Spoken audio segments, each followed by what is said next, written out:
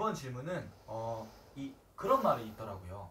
성욕이 많으면 많을수록 바람기가 많다 이런 말이 있는데 정말 실제로 성욕이 많은 사람은 바람기도 많을까요? 아니 난 내가 봤을 땐 그건 아니라 그건 아니 약간 별개로 아 그러면은 이 성욕이 많은 사람과 바람기 많은 사람 음. 그러면 먼저 이 바람기가 좀 많은 사람들의 특징은 어떤 특징이 있을까요? 응. 바람기가 많다는 거는 그 남이 나를 많이 좋아한다는 거지. 어, 사람들이 많이 따르고 그런 사람 사주가 있어. 어떤 집 같은 경우에는 신랑이 하도 바람을 많이 피니까 네. 필 때마다 그 여자 띄달라는 거야. 음, 근데 그 여자 띄놓고 나면은 또 다른 여자가 붙는 거야. 하도 이거를 갖다가 예방을 해갖고 음, 그 막는다고. 그럼 막으면 뭐하냐. 내가 막으면 뭐하노 또, 또, 또 붙을 텐데. 그래도 내가 그년꼴을 못 보겠다면서.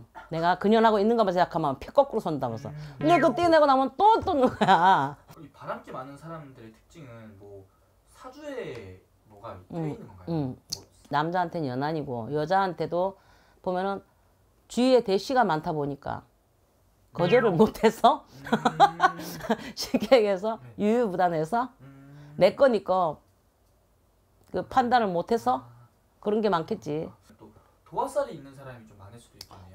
100%. 100% 도화살.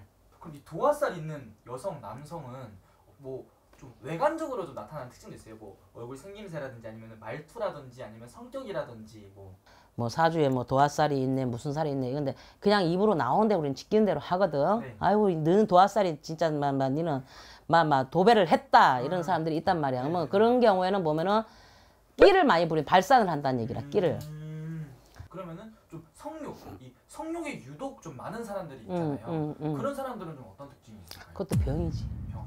뭐 어느 정도 뭐 이래 저희 하면은 일상생활이 되게끔 뭐 이래 하면은 네, 그건 뭐 좋지. 네, 뭐 좋, 좋겠지. 네. 근데 일상- 이거는 무슨 움직이다 뭐뭐 하나 봐도 막 거기에서 연결이 되고 막 뭐 이래 그거는 병이지. 그건 뭐왜 그런 거예요, 선생님? 그냥 그런 건가? 그 그게 여러 가지야. 아 그래요? 타고 났을 때 기질이.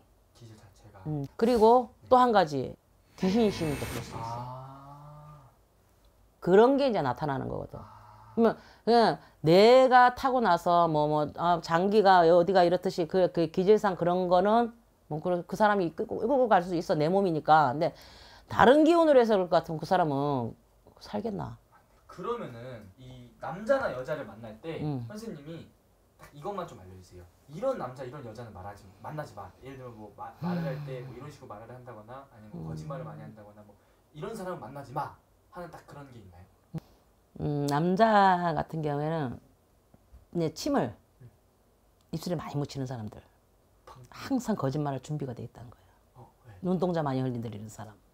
겉과 속이 진짜 틀린 사람 많거든. 여자들은 나부터라도 여자지만 그러니까 불시에 불시에 한번 만나봐야 돼. 아, 뜬금없이 응. 불쑥. 너무 계획적으로 만나는 여자들은 항상 그래.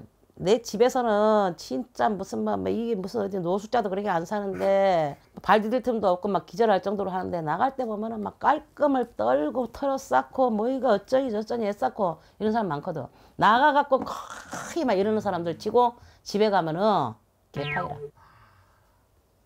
무던한 사람을 만나야 된다는 얘기야. 그래서 그듯이 바람기라는 거는 내가 막 여자를 좋아서 무슨 어디 뭐 잠자리를 못해가 뭐뭐 뭐 하이드 병강세라서 그게 아니라 뭐 바람 많이 핀다고 해서 무슨 어디 성욕이 좋다 그냥 그거는 아니라고 보거든.